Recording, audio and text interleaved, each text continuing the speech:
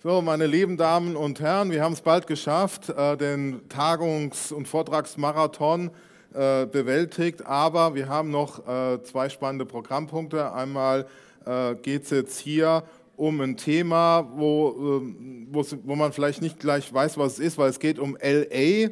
Was ist das? Ist das jetzt Hollywood oder denkt man da jetzt an die Lakers oder an den Walk of Fame? Es geht aber jetzt nicht um das schöne Los Angeles, sondern um Learning Analytics und den wieder aufkommenden didaktischen Zugang dazu. Präsentieren werden uns zum einen Dr. Malte Persige, den wir schon mal eben ganz kurz gesehen haben. Das ist ja ein Tausendsasser, der immer auf ganz vielen Bühnen parallel ist. Der ist jetzt zum einen in Berlin physisch, körperlich beim UFF, äh, bei der Mainstage aber gleichzeitig jetzt hier als digitaler Zwilling oder Avatar. Nee, ich glaube, es ist der echte Malte, das hoffen wir ja gleich. Der echte Malte ist dann hier auch in Bochum gestreamt. Und wir haben noch jemand dabei, nämlich den äh, Jonas, Jonas Lechke vom ZFW, von, äh, von der RUP. Und äh, da freuen wir uns auch sehr, dass du den Weg, der glaube ich nicht so weit war, genau hierher zu uns gefunden hast als äh, Teil des E-Learnings-Teams äh, des Zentrums der Wissenschaftsdidaktik an der Ruhr-Uni Bochum. Und äh, wir freuen uns eben jetzt sehr auf diesen spannenden Vortrag, didaktische Perspektiven auf Learning Analytics. Lieber Jonas, bitte komm zu mir auf die Bühne. Der Malte äh, ist ja auch schon zugeschaltet. Ja, da würde ich Dank. euch das Wort übergeben. Danke, Markus. Ja, vielen Dank, äh, dass wir hier äh, unseren Talk halten dürfen zu didaktischen Perspektiven äh, auf Learning Analytics und zwar hier auf der Orca Stage in Bochum beim University Future Festival 2023. Ich weiß gar nicht, wie gut die Verbindung funktioniert. Ich glaube, Malte ist gerade schon wieder ein bisschen eingefroren. Wir müssen mal gucken, wie gut die Kombination funktioniert. Vielleicht, ja, wir, wir sehen mal, was jetzt so kommt. Also erstmal vielen Dank, dass Sie in Präsenz hier sind und äh, Interesse an unserem Vortrag haben, dass Sie vielleicht auch digital zugeschaltet sind. Auch vielen Dank dafür und natürlich diejenigen, die möglicherweise im Nachgang das Ganze noch on demand hören werden. Ähm, auch da vielen Dank für. Ähm, genau, ich, ähm, Markus hat es gerade schon gesagt, ich bin Jonas Leschke vom Zentrum für Wissenschaftsdidaktik und warum rede ich über Learning Analytics? Ich bin dort äh, Projektkoordinator für zwei Projekte und zwar zwei Projekte, die sich mit Learning Analytics und KI in der Hochschulbildung beschäftigen. Das eine ist das Projekt KI Edu NRW ähm, und das andere ist das Projekt AI Study Buddy at RUB. Und zusammen mit Malte bin ich eben in diesen Projekten auch unter, ähm, aktiv, weshalb wir diesen Talk jetzt zusammen geplant haben. Ähm, wir müssen mal gucken, ähm, ist Malte noch da oder ist er weg? Ist weg, schade. Ähm, das heißt, eigentlich wollte ich gerade an Malte übergeben, dann probiere ich das mal selber zu übernehmen. Ich nehme den Klicker und wechsle mal rüber. Gut, da die erste Folie eben mir gehört, ist das jetzt noch kein Problem. Ähm, und zwar äh, Learning Analytics, das haben wir gesagt, ist das Thema hier heute, über das wir sprechen möchten. Learning Analytics, was ist das eigentlich genau? So auf die genaue Definition wollten wir jetzt heute gar nicht eingehen, sondern eher Beispiele mitbringen. Und zwar haben wir ein paar Beispiele mitgebracht zu Learning Analytics Dashboards. Das heißt, das ist die Mensch-Maschine-Schnittstelle, wenn man so möchte. Lehrende, Lernende oder sonstige Stakeholder nutzen diese Dashboards und erhalten dafür, dazu Informationen über ihr Lernverhalten, wenn es äh, Lernende sind, oder, das Lehrver oder das, die Lehre, wie sie bisher läuft, von den Lehrenden. Teilweise werden diese Dashboards schon in der Praxis eingesetzt, teilweise sind diese Dashboards aus Forschungsprojekten. Und was sie aber alle gemein haben, ist, dass sie ähm, Erfolgskurven und ähm, Erfolgsprognosen, Lernkurven und Erfolgsprognosen darstellen. Da haben wir ganz verschiedene Visualisierungen, Ampelsysteme, Liniendiagramme. Es gibt ja ganz, ganz unterschiedliche Sachen.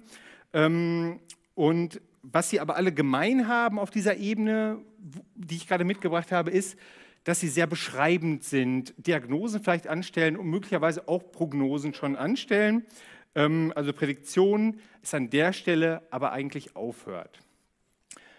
Genau, Malte ist immer noch nicht da, das heißt, ich ziehe das jetzt hier alleine durch und übernehme jetzt seine Folien. Das ist jetzt ein bisschen, ähm, da muss ich mal schauen, wie gut ich das dann äh, gestemmt kriege. Was bedeutet das eigentlich? Also warum, warum ist möglicherweise ähm, das, was wir gerade gesehen haben, aus didaktischer Perspektive nicht so richtig das ganz Wünschenswerte, was man haben möchte? Wir haben mal Maxis Dashboard mitgebracht. Maxi hat äh, hier eine ähm, Lernverlaufsprognose. Wir sehen diese gestrichelten Linien am Ende äh, bis zur Klausur. Wo steht Maxi da ungefähr? Das ist diese, die, ähm, ist diese rote Linie. Und das ist ja erstmal so eine Prädiktion auf dem weiteren Lernverlauf von, von Maxi aufgrund der bisherigen Daten. Die Präskription kommt dazu, indem Maxi gefragt wird zum Beispiel, naja, du bist im Moment unter den 50 Prozent voraussichtlich bei deiner, bei deiner Klausurnote, kannst du möglicherweise mehr Lernzeit aufbringen? Also so eine, so eine preskriptive Empfehlung, das wäre jetzt was, was dich möglicherweise zu, einem guten, ähm, ja, zu einer guten Klausur hilft. Maxi gibt an, nein, kann ich nicht. Ähm, gibt das in dieses System ein und dann sagt das System, na gut, wenn das keine Möglichkeit ist, dann schlage ich dir jetzt vor, soll ich dir für dich eine Lerngruppe finden, die vielleicht ähnliche Probleme hat, die an einem ähnlichen Lernstand ist oder vielleicht auch gerade äh, eine, Interdis äh, eine interleistungsfähige Lerngruppe. Und äh, da sagt Maxi, hey, das ist eigentlich eine ganz coole Idee und gibt das Ganze mit Ja an und sagt, ja, ich möchte das gerne. Und dieses System im Hintergrund fängt jetzt an, eine Lerngruppe zusammenzustellen für Maxi. Das heißt, dieses System übernimmt die Intervention. Dann haben wir noch so eine ein Dashboard für den, für den Professor, die Professorin, ähm, wo die ganze Kohorte abgebildet wird.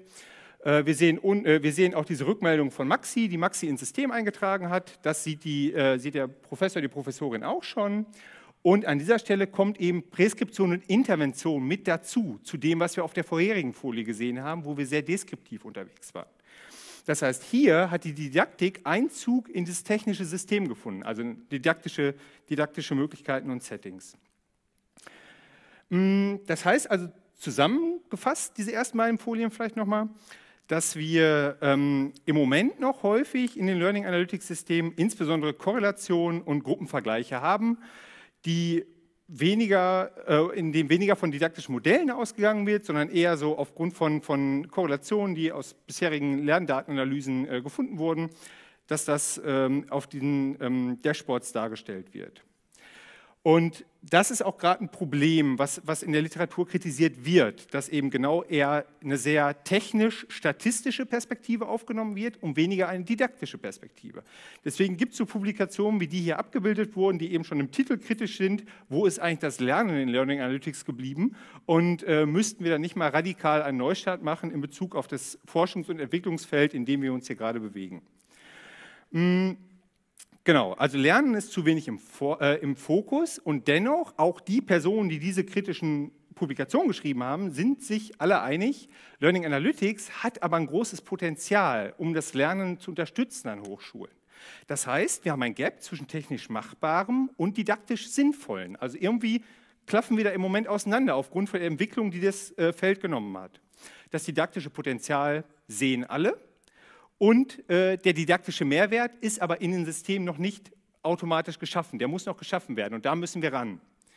Weil wir wissen ja aus der pädagogisch-psychologischen Forschung, dass bei jeder Wahrnehmung, die jemand hat, auch eine Verhaltensänderung ähm, stattfinden kann. Das heißt, Studierende, die sowas sehen oder Lehrende, die sowas sehen, die nehmen das irgendwie an und machen da was raus. Und wenn wir sie allein lassen an der Stelle, dann machen die da irgendwas raus. Und das muss nicht unbedingt lernwirksam sein. Und deswegen dazu sagen, hey, da müssen didaktische Modelle und Fragestellungen rein, ist, äh, das ist der Standpunkt, den wir vertreten. Ausgewählte Fragen aus dieser didaktischen Perspektive sind unter anderem, was sind eigentlich die pädagogisch-psychologischen Korrelate, die sich äh, hinter Lerndaten befinden und welche, welche Modelle sind vielleicht auch äh, didaktisch damit verbunden? Wie, kann, ähm, wie können negative Effekte, äh, die natürlich durch solche Systeme auch entstehen können, wie Demotivation bei Lernenden zum Beispiel, präventiv begegnet werden. Also wie müssen die Systeme aufgebaut werden, dass nicht auf einmal unsere Lernenden demotiviert werden. Das wollen wir ja gerade gar nicht. Und ähm, eine, eine, ganz globale Frage, die aufgeworfen wurde jüngst, ist, Learning, können Learning Analytics Systeme überhaupt in die existierende Hochschullehre, wie wir sie im Moment an unseren Hochschulen betreiben, sinnvoll integriert werden oder bräuchte es eigentlich sogar einen radikalen Neustart, wenn wir sagen, wir wollen das komplette didaktische Potenzial dieser Learning Analytics Systeme nutzen, sofern wir sie denn nutzen wollen? Ähm, genau, das sind erstmal so Fragen. Es gibt noch viele weitere Fragen, aber wir sehen, da ist noch viel unbeantwortet einfach in diesem Forschungsfeld. Ähm, genau, also Punkt, den ich gerade schon zweimal gesagt habe, didaktische Modelle und Theorien sind wichtig und die machen eben auch den Unterschied zwischen Datenanalyse und Lerndatenanalyse. Also erst wenn wir diese Modelle, die wir kennen und haben, äh, bei der Entwicklung dieser technischen Systeme berücksichtigen, dann betreiben wir eigentlich eine ernsthafte Lerndatenanalyse, was wir bisher vielleicht eher weniger machen. Ähm, zur ähm, Berücksichtigung von Präskription und Intervention, also genau diesen didaktischen ähm, Effekten oder, oder Möglichkeiten für Analytics-Systeme, sind sich alle schon sehr lange relativ einig, also 2012 ist die Quelle da unten, äh, dass das äh, Actionable Insights eigentlich das zentrale Moment sind. Und diese Actionable Insights sind das, was uns im Moment noch fehlt. Und die sind aber aus der didaktischen Perspektive zentral um den Learning Analytics Kreislauf sinnvoll zu schließen. Und das ist der, der da ähm, rechts auf der Folie dargestellt ist. Ähm, wir sehen, wir haben die Lernhandlungen oben von den Lernenden. Wir haben dadurch Lerndaten, die wir überall in unseren Systemen an den Hochschulen gespeichert haben. Lehrmanagementsystem, Campusmanagementsystem, irgendwelche Videoserver und was es da noch alles gibt. Ähm, diese werden analysiert und dann kommt der Moment, wir brauchen diese Intervention. Wir, wir, müssen eine sinnvolle Schlussfolgerung auf Grundlage dieser Analysen führen können. Und das wird insbesondere in der technischen Entwicklung gerade noch nicht so in den Fokus gestellt. So, jetzt würde ich wieder fiktiv an Malte übergeben, schaue also, dass ich die nächsten Folien jetzt für ihn übernehme. Was braucht es noch? Ein ganz wichtiger Punkt ist einfach Data Literacy an der Stelle. Dass Lehrende und Lernende, das haben wir heute auch schon mal gehört, gut äh, diese Systeme verstehen können. Ähm, Data Literacy umfasst eben die Fähigkeit, Daten zu verstehen und auch ähm, auf kritische Art und Weise zu sammeln, zu managen, zu bewerten und anzuwenden. Wir haben hier zwei Beispiele mitgebracht, die aus Data Literacy Perspektive so vom Design her schwierig sind.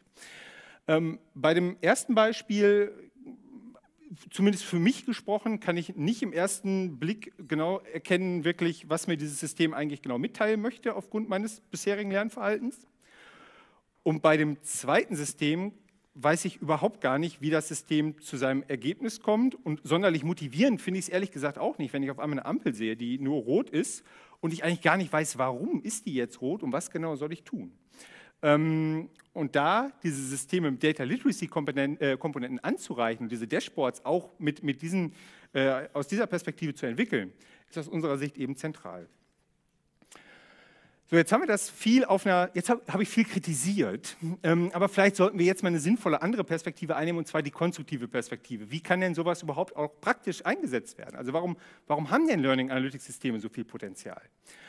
Und äh, Learning Analytics Systeme haben zum Beispiel als didaktisches Werkzeug für Studierende ein großes Potenzial. Wir sehen hier den ersten Punkt, wir haben so ein paar mitgemacht, aber auch diese Liste kann man wieder verlängern. Personalisierte Lernpfade. Adaptives Lernen ähm, kennen wir, kennen wir als, als Schlagwort an der Stelle. Ähm, aufgrund bisherigen, äh, des bisherigen Lernverhaltens der Studierenden, aufgrund des Vorwissens, das sie aus anderen Lehrveranstaltungen mitbringen, können hier adaptiv Lernpfade ähm, empfohlen werden oder Übungsaufgaben dargereicht werden.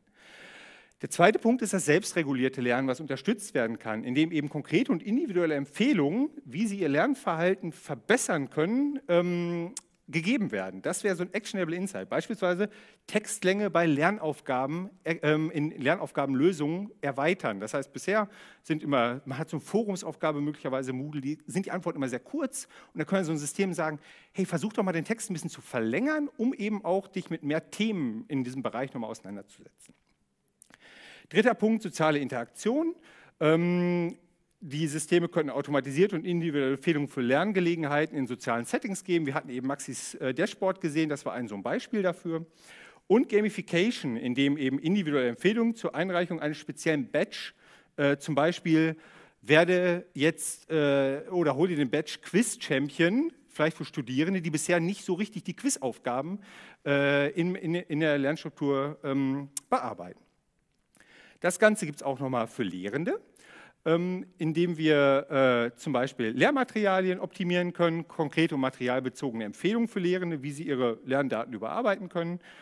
Ähm, die Evaluation von Lehrmethoden, Lehrende können Feedback darauf kriegen, äh, wie bisher äh, ihre ähm, ihr, ihr Lehrsetting angenommen wird und was sie möglicherweise auch im Laufe des Semesters noch verändern könnten, damit ihre spezifische Lerngruppe besser mit diesem Lehrmaterial umgehen kann.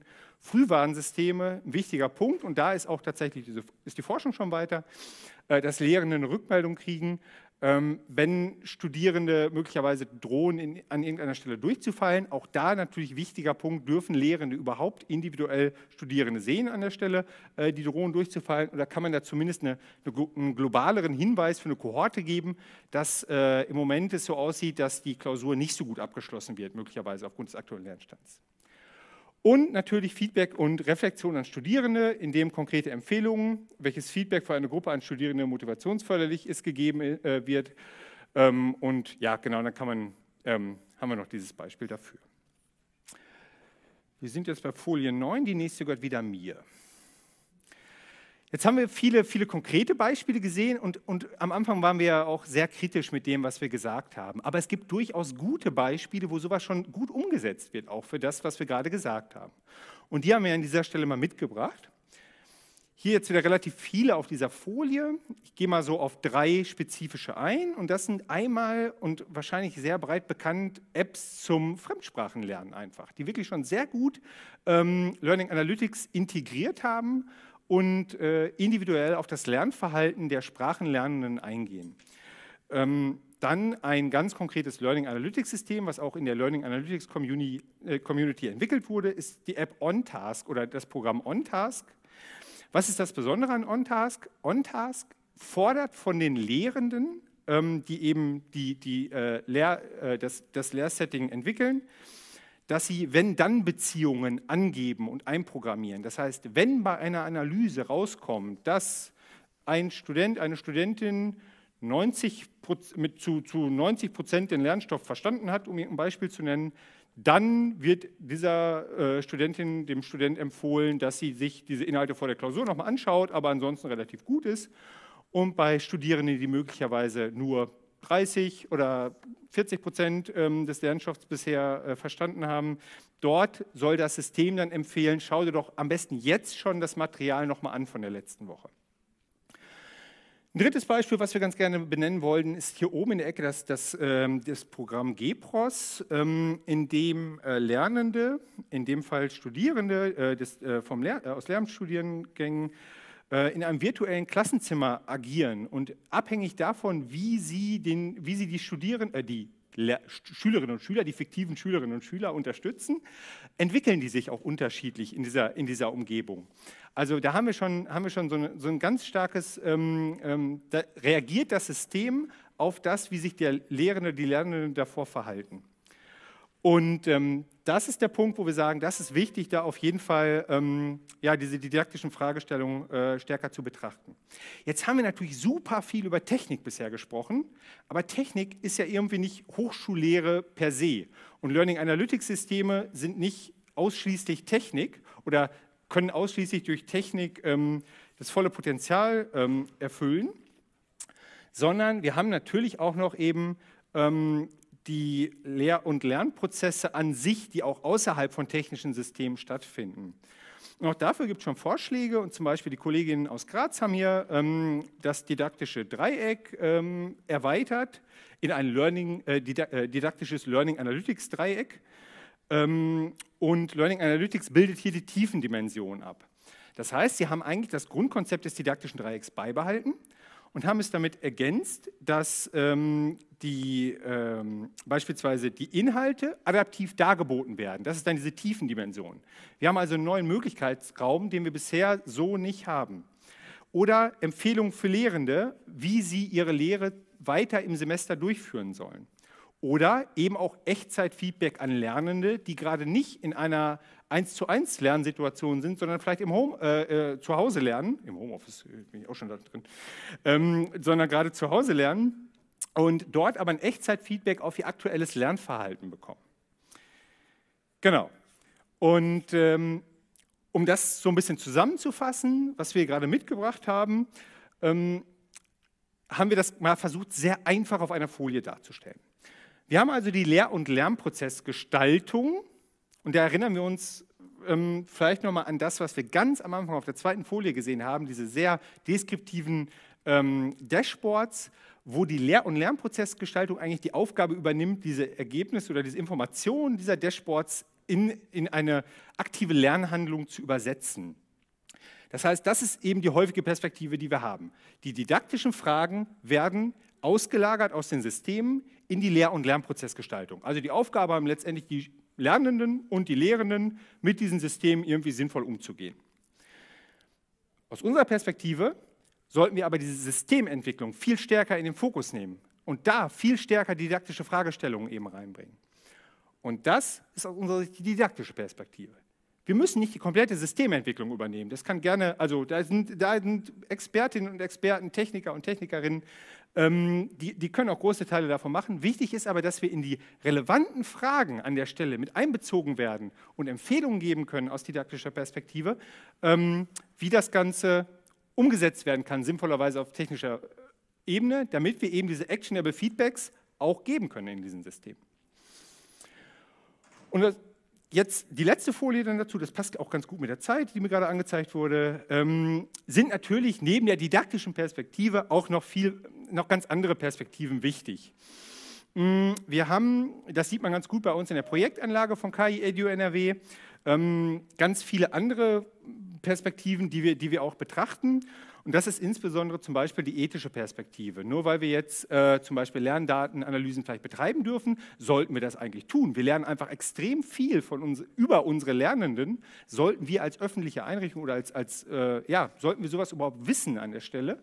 Oder ist das vielleicht eine Frage, die, die wir nochmal da differenziert, ähm, ja, kritisch betrachten sollen? Datenschutzfragen. Immer ein Riesenthema bei Lerndatenanalyse. Da haben wir übrigens jüngst ein Gutachten veröffentlicht, äh, das Datenschutzfragen im Kontext von Learning Analytics beantwortet, für NRW eingeschränkterweise, aber möglicherweise ist einiges davon auch für andere Bundesländer übertragbar. Ähm, Technik, klar, jetzt habe ich viel über Technik gemeckert, aber doch ist sie die Grundlage für Learning Analytics Systeme und die ist auch insbesondere schon, schon weit fortgeschritten an der Stelle. Und kompetenter Umgang, ganz wichtiges Thema. Äh, Data Literacy hatte ich eben schon genannt. Aber man sollte vielleicht so oder so Lernende nicht komplett alleine lassen mit diesen Systemen, sondern möglicherweise Beratungsstellen wie die Studienberatung mit in die Entwicklung einbinden, weil manchmal sind vielleicht Rückmeldungen, die die Systeme relativ hart geben würden, doch ganz gut, wenn da Menschen noch irgendwie zwischenstehen, die das Ganze moderieren und, und individuell an die Lernenden weitergeben können. Unten noch ein, äh, ein Angebot von uns. Viele dieser Felder weisen erhebliches Forschungspotenzial auf. Das heißt, wenn man sich damit beschäftigen möchte, findet man da sicherlich noch einen Platz und ähm, äh, dass, man, dass man da irgendwie diese Fragen, die wir gerade mitgebracht haben, beantworten möchte. Vielen Dank für Ihre Aufmerksamkeit.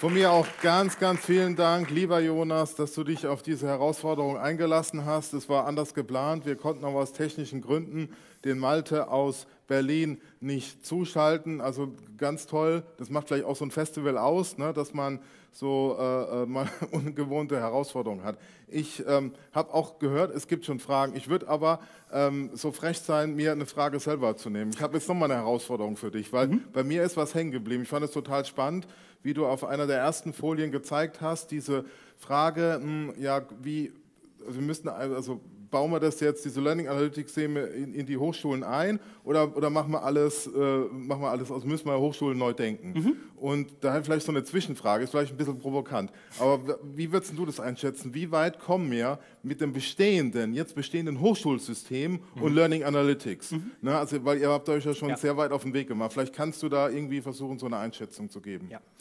Ähm ich kann das jetzt, das ist eine ganz persönliche Einschätzung an der Stelle, genau. Also jetzt nicht das mm. Überbewerten vielleicht, mm. mit, was ich jetzt sage. Mm. Ähm, wir haben natürlich einen wahnsinnigen Boost durch Corona erlebt, was äh, die Digitalisierung von Lerndaten angeht. Das heißt, die Datengrundlage, aufgrund derer wir jetzt äh, Learning Analytics betreiben können, ist natürlich erheblich gestiegen.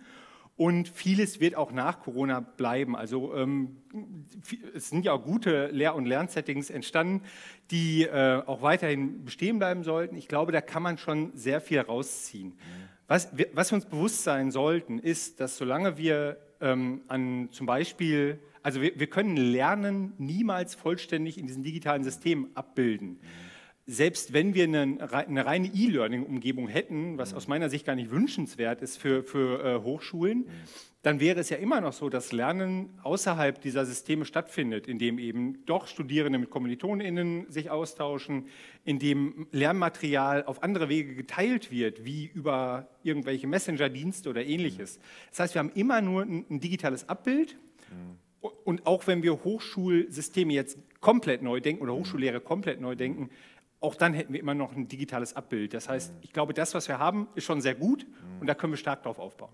Super. Danke dir für die Einschätzung. Jetzt will ich aber den anderen Fragenden das Wort geben. Ich glaube, Daniel, du hast was, dann schieß los bitte. Ja, wir haben diverse Fragen auch aus dem Chat. Äh, ganz am Anfang hast du von der Zuordnung oder Einteilung äh, von bzw. in Lerngruppen gesprochen. Äh, und da wurden ähm, diverse Fragen gestellt, zum Beispiel, müsste man bei der Empfehlung einer Lerngruppe nicht eventuell auch auf unterschiedliche persönliche Präferenzen Rücksicht nehmen, beziehungsweise auf welcher Basis wird eine Lerngruppe empfohlen? Ja, ähm, das ist eine tatsächlich sehr gute Frage, die im Grunde wieder jetzt gerade so ein bisschen diese ethische Perspektive nämlich mit aufgreift. Weil ja, diese, diese persönlichen äh, Rahmenbedingungen sollte man natürlich bei einer Lerngruppenfindung und Bildung berücksichtigen. Sei es ähm, so was ganz Profanes wie, wann haben Studierende in der Woche eigentlich Zeit, überhaupt äh, sich mit einer Lerngruppe zu treffen zum Beispiel. Ähm, das würde bedeuten, so ein Learning Analytics System, wenn das das automatisch übernehmen soll, müsste wissen, was sind denn freie Zeiten von Studierenden innerhalb der Woche? Und da kommen dann nämlich so Sachen auch außerhalb des Stundenplans dazu, wie Care-Arbeiten, wie ein Nebenjob, wie persönliche Verpflichtungen, Sportverein, keine Ahnung. Und das ist natürlich aus meiner Sicht kritisch zu bewerten, insbesondere aus ethischer Perspektive, dass so ein System sowas, sowas wissen müsste, damit das automatisiert äh, passieren kann.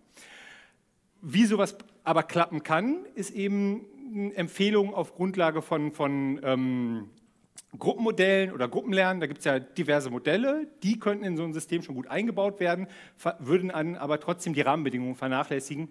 Und meine persönliche Meinung wäre, dass, dass das eher äh, auch vermieden werden sollte, da diese Rahmenbedingungen mit einfließen zu lassen. Vielen Dank. Und eine äh, weitere Frage ähm, ist ein neuer Player, DSGVO 19. Also ich schätze, das ist Artikel 19 mit gemeint. Äh, vielleicht kannst du dazu noch gleich was sagen für alle äh, Teilnehmenden, was das genau ist. Ähm, und die Frage ist, hat es aber auch dafür, dazu geführt, also dieser Artikel, dass einige Learning Analytic Tools nicht mehr eingesetzt werden. Ist das ein Hemmnis? Ist das, also hat die ähm, DSGVO 19 äh, da große Einschränkungen gebracht?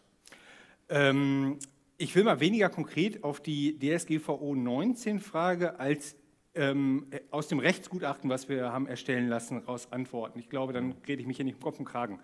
Ähm, das äh, geht davon aus, dass wir ähm, uns im Grunde nicht auf die Generalklausel im, im Hochschulgesetz NRW äh, stützen können, wenn wir Learning Analytics in Hochschulen betreiben wollen. Was wir jederzeit machen können, ist, wir können ähm, Learning Analytics aufgrund von äh, Einwilligung von Studierenden betreiben. Also wenn die Studierenden sagen, ja, wir dürfen diese Lerndaten auswerten, dann dürfen wir das heute schon machen. Da ist natürlich so ein gewisses Abhängigkeitsverhältnis zwischen Studierenden und Lehrenden, sodass man da von einer freiwilligen Einwilligung vielleicht auch im Zweifelsfall nicht unbedingt sprechen kann jetzt schon rechtssicher möglich wäre es, wenn sich Hochschulen eigene Ordnungen dafür geben. Das dürfen sie. Sie dürfen Ordnungen selber ähm, erlassen. Und in diesen Ordnungen könnte geregelt sein, ja, Learning Analytics wird bei uns an der Hochschule betrieben und Studierende und Lehrende sind verpflichtet, an diesem System teilzunehmen. Das wäre tendenziell möglich. Die Empfehlung im Gutachten ist, dass der Gesetzgeber auch nochmal an der Stelle nachbessert. Ähm, und äh, genau, das ist das, was ich aus dem Gutachten sagen kann. Danke. Gibt es noch Fragen, Daniel, aus dem Chat? Gibt es hier im Publikum Fragen an Jonas zum Thema Learning Analytics? Das scheint nicht der Fall zu sein. Genau, ich kriege auch schon das Zeichen, die Session zu beenden. Nochmal, lieber Jonas, ganz, ganz vielen Dank, dass du dich auf die Herausforderung eingelassen hast, Danke. uns hier allein nur mit einem fiktiven Malte zusammen diesen spannenden Vortrag zu präsentieren. Ganz vielen Dank. Danke für die Möglichkeit. Danke.